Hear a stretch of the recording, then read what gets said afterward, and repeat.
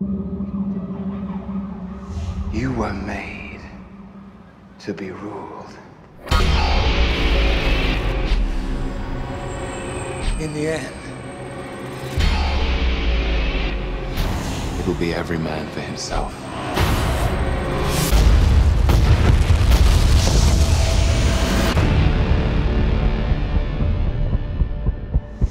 What do we do? We get ready.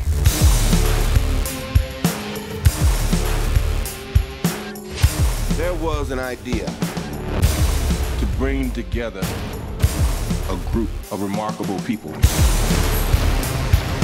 So when we needed them, they could fight the battles that we never could.